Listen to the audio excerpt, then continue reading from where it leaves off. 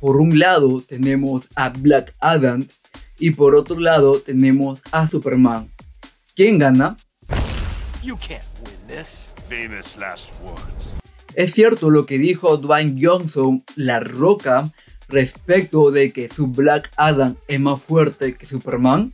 Recuerda que la mayor debilidad de Superman no es la kriptonita, es magia. El mayor superpoder de Black Adam es la magia. Ambos vuelan a la velocidad de la luz. Ambos son imparables, pero solo uno matará al otro. Y sabemos quién es. Y aquí es donde me pregunto y les pregunto, ¿Black Adam es capaz de ganar o matar a Superman? ¿Es cierto de que Superman es vulnerable o débil a la magia? Hola, ¿qué tal a todos? Yo soy The Boy Wonder y hoy vamos a analizar la suposición de, de Dwayne Johnson, La Roca, respecto a lo que dijo sobre Superman. ¿Y realmente le pudo ganar Black Adam en los cómics? ¿Qué posibilidades tiene realmente? Pues entérate de quién gana después de la intro.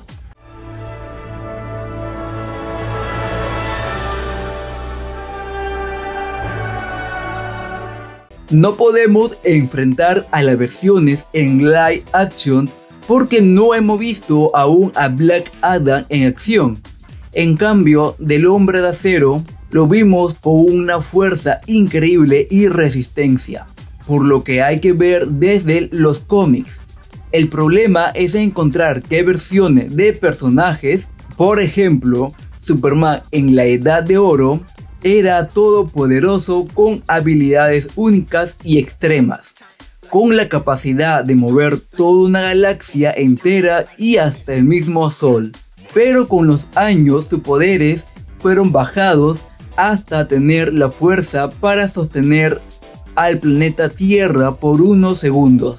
Si incluimos el peso de la Tierra en su fuerza actual, se calcula entre 6 mil trillones de toneladas.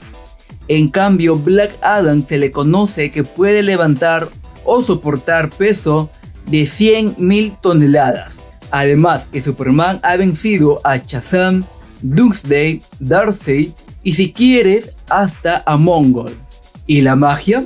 Pues la única debilidad de Superman es la kriptonita, porque reduce sus poderes, pero es vulnerable a la magia, pero no débil para perder un combate. Según el diccionario, ser vulnerable es que podría sufrir una amenaza, dolor o enfermedad. No de que sí o sí lo sufra del todo como lo que le hace una kriptonita en todas sus presentaciones. Aún así, en la película le pueden dar otra interpretación y obviamente el favor del guion.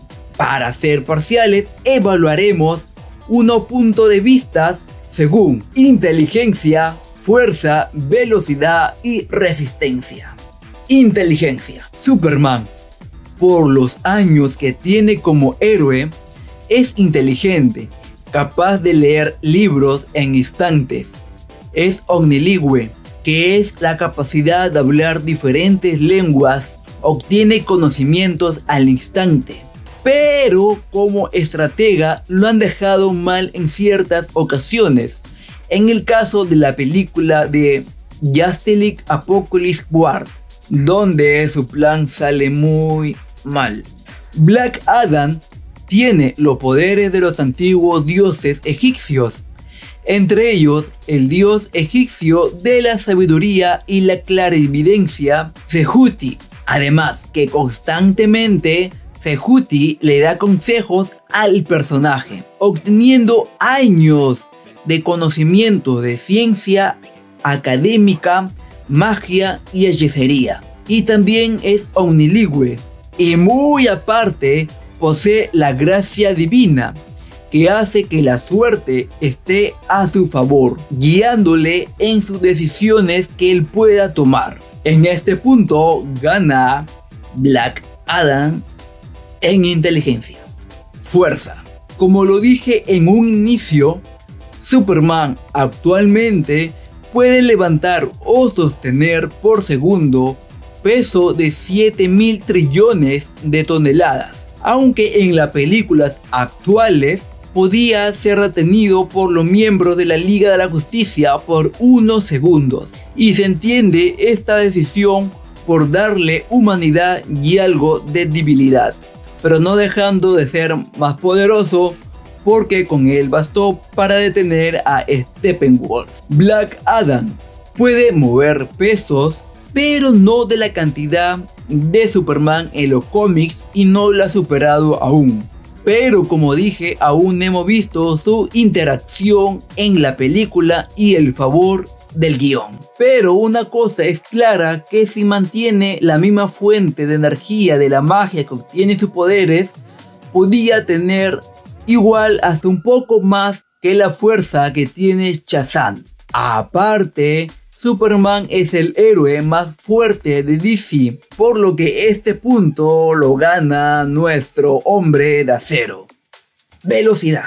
Aquí los dos son grandiosos. Superman es capaz de alterar el tiempo e ir a la velocidad de la luz, aunque esta habilidad fue visto solo en la edad de oro y la edad de plata. Pero ahora sabemos nosotros que en los cómics el más veloz de todos es Wally West. En la película de Christopher Reeve usó su velocidad para mover a la Tierra cambiando su eje o rotación para retroceder el tiempo. Algo que aún no hemos visto en las películas actuales de la Justice o su película Solitario por Zack Snyder. En cambio, Black Adam es muy veloz, también llega a la velocidad de la luz. Según sus primeros años en los cómics de Fawcett Comics, cuando fue desterrado en una estrella alejada del universo, solo le tomó unos 5000 años en volver a la Tierra, siendo aún así veloz, al igual que Superman. Pero en el 2018, DC Comics publicó una gráfica en su serie anual o DC Nation donde reflejaban quiénes eran los seres más veloces del universo DC.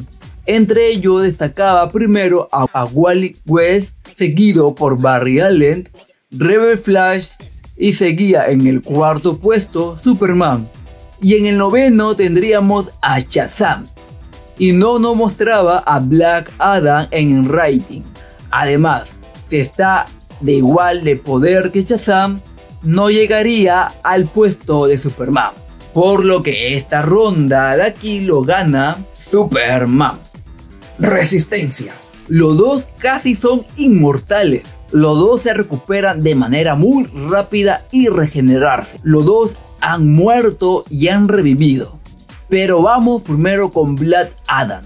Posee los poderes de los dioses, por lo que le hace inmortal sin envejecer. Eso no implica que no pueda morir, porque ya lo ha hecho. Y cuando muere siempre es revivido. Si sufre un daño severo, le toma un tiempo en recuperarse.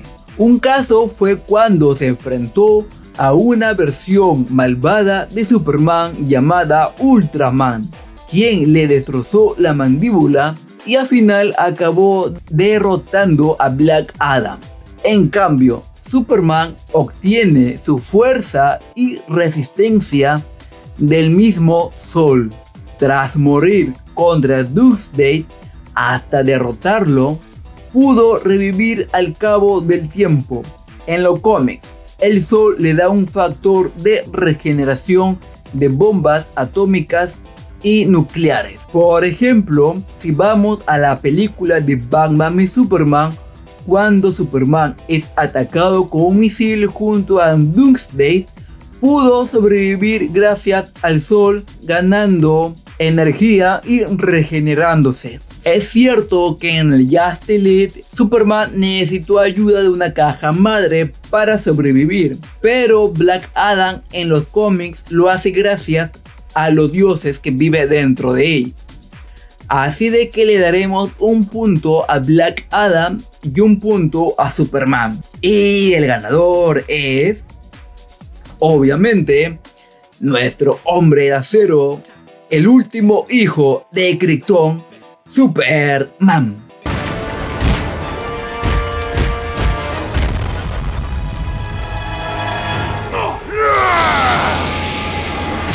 En conclusión, Superman es quien gana obviamente a Black Adam, sin o con ayuda para contrarrestar la magia.